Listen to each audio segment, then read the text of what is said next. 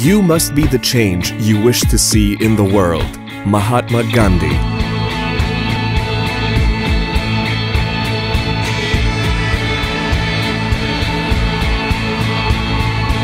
Be a part of the change 250 students from 30 countries will. AIESEC.